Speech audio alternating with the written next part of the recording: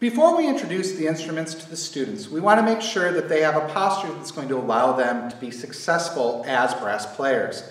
There are two key concepts that you're going to hear uh, reiterated throughout this class. The first is that our goal is to allow for more air. And proper posture allows for that. It allows the rib cage to expand. It allows the abdominal muscles to engage uh, without, in, uh, without any inhibition.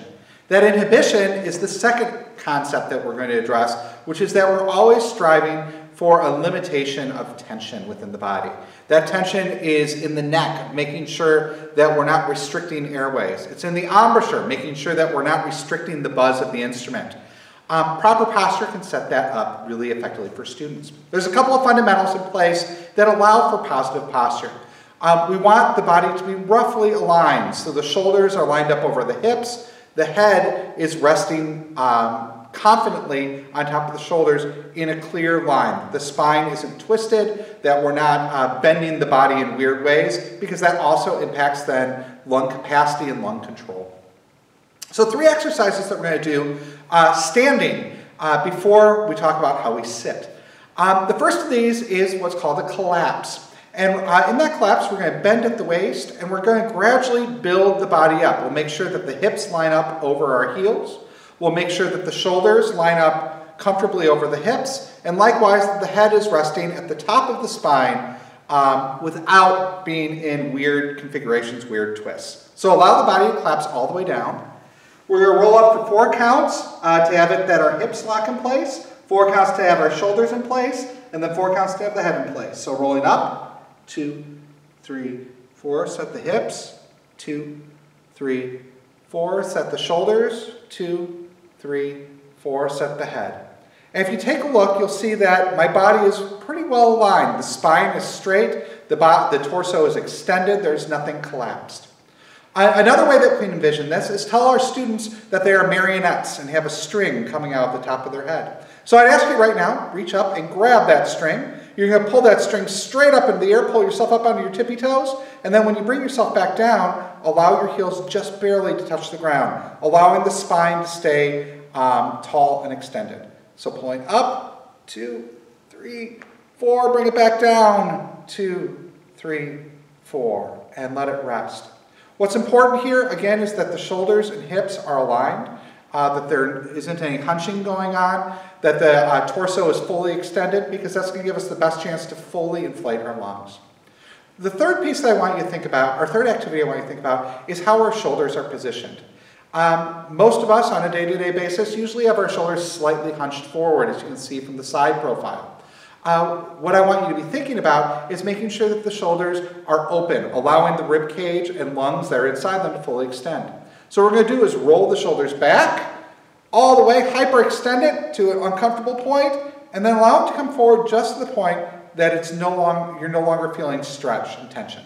Let's try that one more time. Roll the shoulders back all the way, all the way to uncomfortable, and allow it to come forward.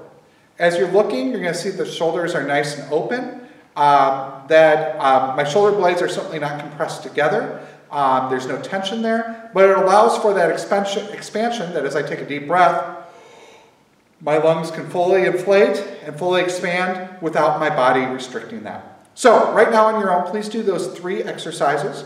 Um, first of all, the collapse, second, the marionette, and third, the shoulder roll to set your posture Again, thinking about shoulders lined up over your hips with a nice clean balance on the floor. Video. Please make sure that you establish posture first with students standing. Um, the chair introduces some new challenges, um, namely the fact that we're familiar with chairs and we're familiar with slouching while we sit in those chairs. Um, before introducing the instrument, make sure that you establish with the students what proper posture is. So first and foremost, we want the feet flat on the ground. And it's not necessarily that the feet make um, and legs make that big of a difference in that posture, but if we have the feet up, we have now just changed the way that the rest of our body reacts.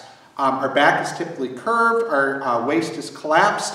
If we have our legs crossed, we have to compensate by crossing our or by changing the posture of our spine. By having our feet flat on the ground, it ensures that our body is symmetrical and um, our spine can be easily aligned.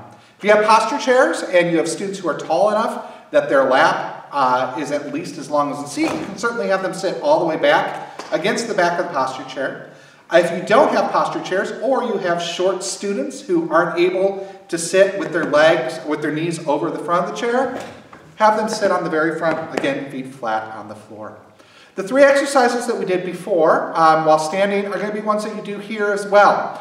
Um, and we're going to do those to make sure that we're paying attention uh, to setting up our proper posture. Again, the uh, goal is always that the shoulders are aligned over the hips, that the spine is fully extended, and that we're keeping the chest nice and open to allow for full air to come in. So we're going to start with our collapse. So four counts to uh, pull up from the hips, four counts to set the shoulders, four counts to set the head.